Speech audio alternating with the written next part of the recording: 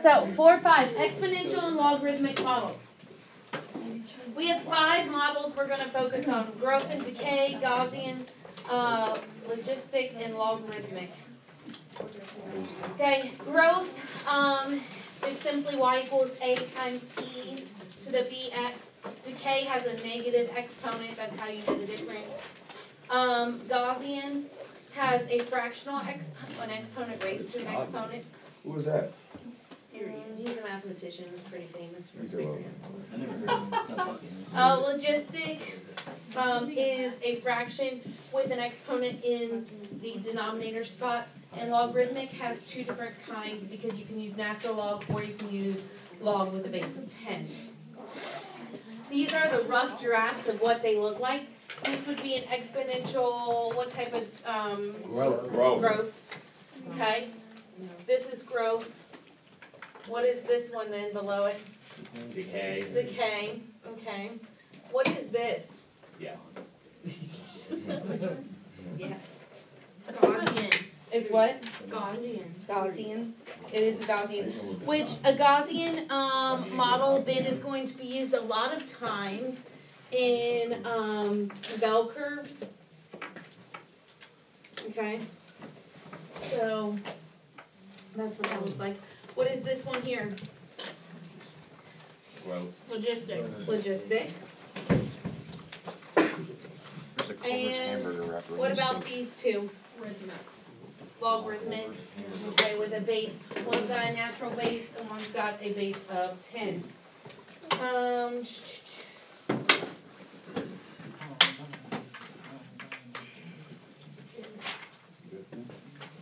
Okay, so you're gonna have to be able to identify these because um, in our graphing calculator, when we put data in, we're gonna have to be able to identify which one we're using in order to get our equation off of our data. Okay, so let us start by putting um, this table in, and then we're going to figure out an exponential growth model. So how do I put data into my table? Oh, wait, I know this. You have to go do something with edit. plots? Yeah. You have to go to stat, Oh, stat. and then you need a clear uh, list one and clear list two, Yeah. and then you gotta go back into stat and edit it, yes? Stat. You have to clear list one and clear list two. Done. And then you gotta go back in and you gotta put in the data. I personally am just putting in seven, eight, nine, ten, eleven, twelve, thirteen for L one. Ah, stat. Um, if you do the whole year, you just have to remember that for when you put in your, um, rank, your, um, So just your seven, right? window, Are we just when you set your that? window. Seven, eight. Does that make, make sense, Jeremiah? Okay, so put in this data for me. So you wanna explain the window, do you make the numbers smaller, so What do you mean if you wanna expand your window? like, so you can see your graph, like the whole thing? Uh, then you, it depends what your numbers are, if you're making it smaller or bigger, you gotta decide. It's a nine. Nine, four, three, six, nine, four, three. Oh, I have to do the thing.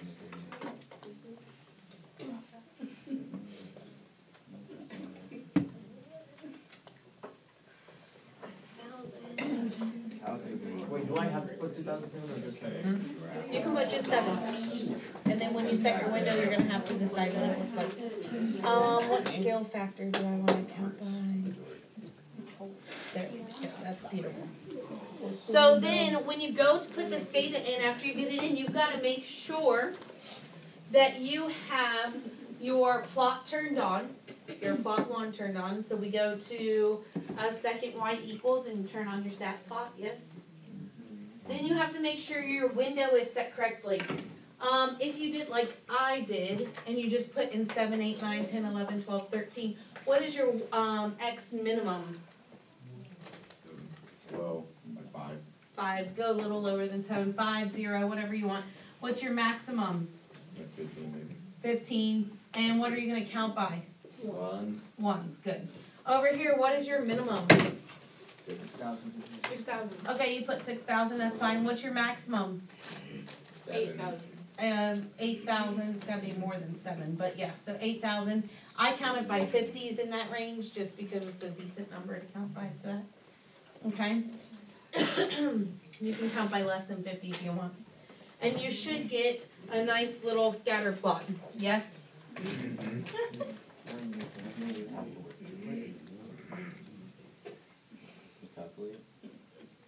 Your scatter plot's not turned on. Come on, Jenna. Silly. Nice little scatter plot. You have to go to second, y equals, and then you turn it on. You turn on the L one.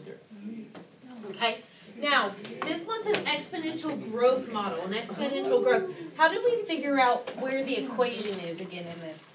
Oh, uh, go back to that. Go back Oh. to stat, good Jenner, go back to stat, go over to calc. We don't want line, we want what? Four. What type of model do we want? Ah, X was it? Exponential, exponential. Okay, so if you want an exponential, you're gonna go all the way down to Zero. zero, which is exponential regression. And you're gonna press enter and enter and enter until it says calculate. And then you're going to get something that looks like this. Should be y equals a times b to the x, yes? And a is six, one, two, eight, point oh five, something along those lines. And B is one point zero one to the X. So then we go into Y equals and we plug that equation in, yes? Mm-hmm. Six one two eight point oh five times one point oh one to the X. And we press graph Oh my god. and it should go Now I gotta put it into. through your dots or pretty close to those dots on your scatter plot. So you're going to have to come up with exponential growth and exponential decay models off of data sets. Six one. Okay? Good. Any questions on that information? That's stuff we've done before, except for we're not using linear regression or quadratic regression, we're using exponential regression feature. Okay? Um, the blue says, in a research experiment, a population of fruit flies is increasing according to the, um, law of exponential growth. After two days, there are hundred flies, and after four days, there are three hundred flies. How many flies will there be after five days? What do we need to come up with? A formula. You need to come up with a formula, okay? What does it say that it's, um, the law is? It's what? The law of exponential growth. What's the formula for exponential growth? Y equals A E to the BX, yes? Okay, can we plug in some of this information? If we can make two equations, we can then combine those two equations to make one.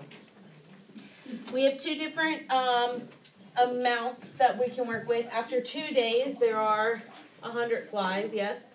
And after four days, there are three hundred flies. So if I set up two separate equations, I can then plug them, substitute them in and solve for A, B, or whatever it is I need to solve for. Okay? So the first equation I'm gonna set up is hundred equals A E to the two times B. Okay, two days, a hundred flies. The second equation you're gonna set up is three hundred equals A E to the four B. Now, if we solve one of those equations, um, for A, we can plug it into the A of the other equation and then substitute and figure things out. Okay? So if we go ahead and make this a hundred over e to the two b equals a, I can then plug this information in here, and then I can solve for what B is and figure out what's going on. So 300 equals 100 over e to the 2b times e to the 4b, yes? Yep. Thanks, Chairman. Okay.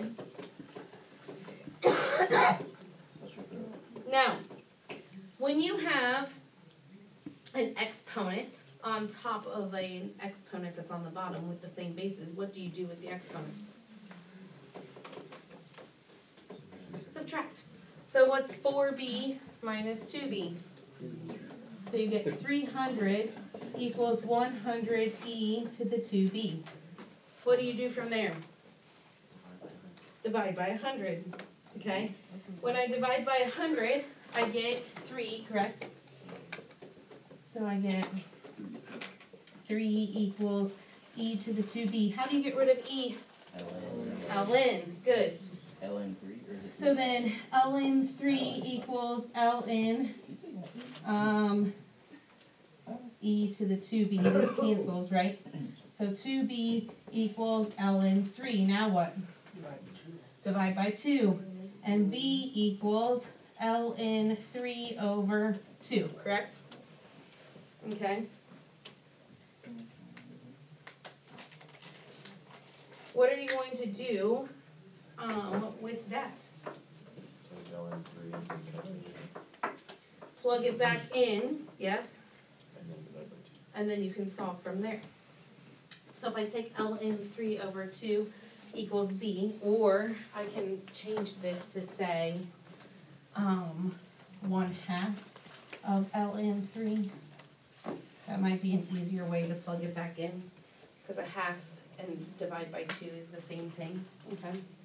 And let's plug it back in to this equation so we can solve for a. Okay, so I'm gonna take this, I'm gonna plug it in for B, so I can solve for A. A hundred over E times two to the one half L N three equals A. What happens to that two in that one half? Yes, they cancel, they cancel. So I can plug this in and I can say one hundred, and I can say divided by E I got thirty-three point three.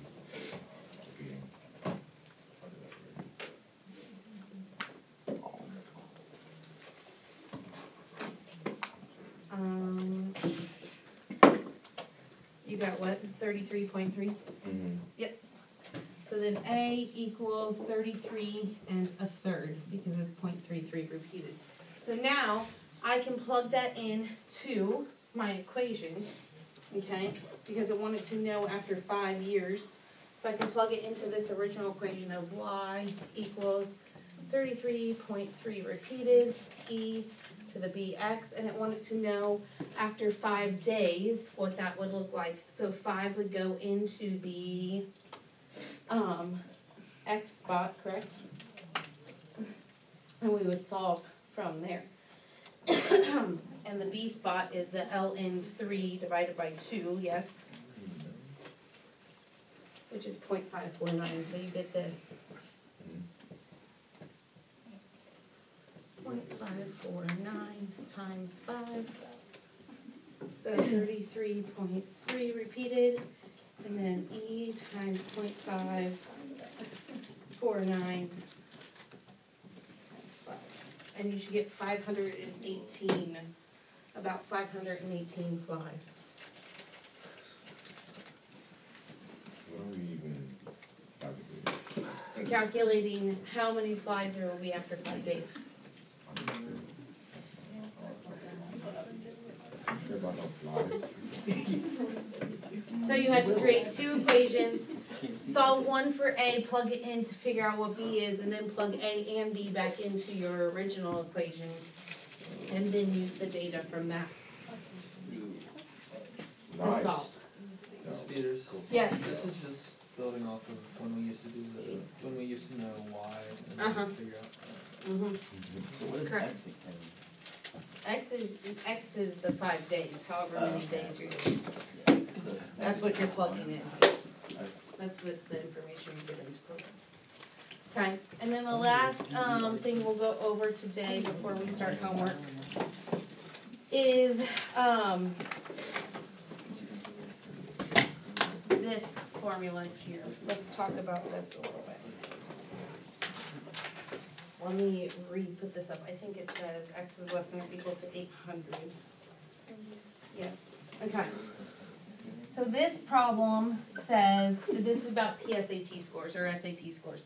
It says in two thousand and thirteen, the Scholastic Aptitude Test, the SAT mathematics scores for college-bound seniors roughly followed this normal distribution, meaning, it, um, it was point zero zero three four e to the negative x minus five fourteen squared over twenty-seven thousand eight hundred and forty-eight, okay? If you plug that in, that was their mean score.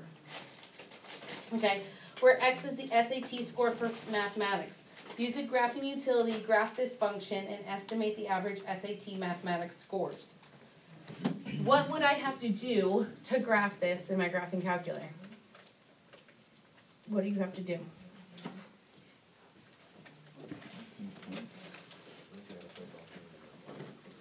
Okay, so you need to plug that equation into the y equals, yes.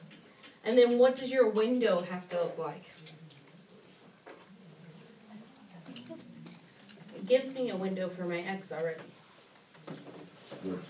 The two hundred, because it has to be, two hundred is less than or equal to my x, and x is less than or equal to eight hundred. So my window is gonna be two hundred to eight hundred, or hundred to nine hundred, cause I wanna see that range, okay? And I count by, I don't know, fives or tens. And then your y should be zero to whatever, because you can have, um, zero to a thousand, I guess, I would put in. When you plug that in, you should get a model that looks like this. What type of model is that? Who just put I've this? got to guess. Yeah, the Gaussian model, okay? And that should make sense because here's the deal, when you are working with scores, okay, in SAT, this should be, your highest point should be your turning point, okay? Because the average person, person should fall within that like average C range or whatever it is, okay, is what they're saying. So you're just gonna plug that in and you're going to make sure that your window is what's set correctly. Um, we're gonna stop there and tomorrow we'll pick up with, um, logistic growth and logarithmic growth. Peter, can I take a picture of this? Yes, you can take a picture of